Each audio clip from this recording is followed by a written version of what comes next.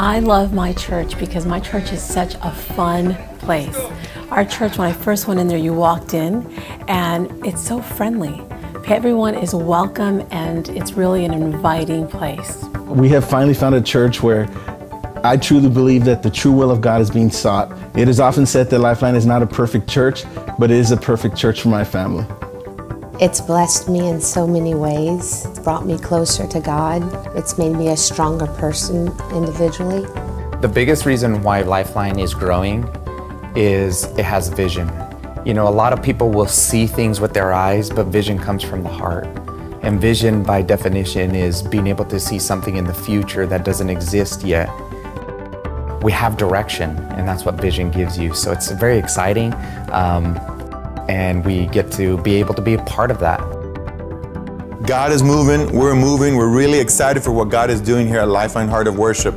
Back in 2002, 2003, we began a church in Rio Grande City where Lifeline started, and God spoke to us very clearly. And on March 1st of 2009, He said it was time to move that church to Harlingen, where we started with 35 people here and have literally grown exponentially to thousands each Sunday. We're really excited for what God is doing and for what He's going to do. Today, we're going to make the vision even more clear. Come with me as we take a look at the future of Lifeline Heart of Worship. Here we are at 2909 East Grimes Street in East Harlingen, the home for our new permanent worship center. We're building the vision so that we can have a place to call our own. This 45,000 square foot facility will be an inviting and up-to-date frontage for our church to the community.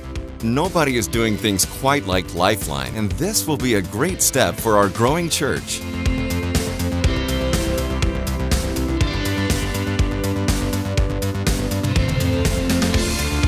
As you enter the Commons area, you will notice an expanded space for fellowship time before and after services.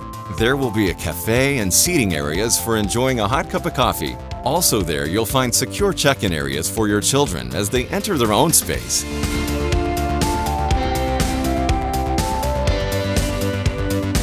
Just inside the children's area, you find an exciting worship space with plenty of seating for our Growing Kids program. There will also be a multi-purpose gymnasium for basketball, volleyball, and other events that can be partitioned from the children's worship space. Without a doubt, our kids will have the ideal environment for learning about Christ and having fun at church with their friends and family. Finally, check out our new worship center. In here you will find modern design features, comfortable seating, and the best in lighting and sound. We're excited about the future and doing greater things to reach our community in a fresh new way here at Lifeline Heart of Worship. Isn't it exciting to see what the future holds for Lifeline Heart of Worship? Lives are being changed, our community is being impacted, and we are just getting started. So we want you to connect with us. We want you to join us as we, we, we continue to move forward towards the vision that God has placed in this church. You may be wondering, how can I help? What can I do?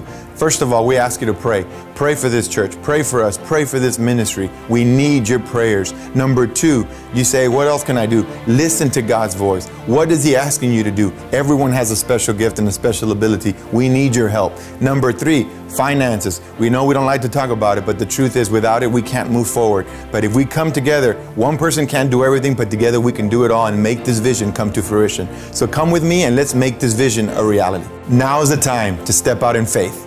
And now is the time to build a vision here at Lifeline Heart of Worship. I am so excited about the new church. I think it's amazing, awesome. We've outgrown where we're at, and there's so many souls that we can touch and bring in. We just need a bigger facility. I find it a privilege to be a part of this vision, to be giving to this vision, uh, this building that we are building, this beautiful building that we're building. There's only one word in the language that has the word success in it, and that is succession. So we should be able to look at people in our community and say, here's our next group of people to carry on our vision of Lifeline.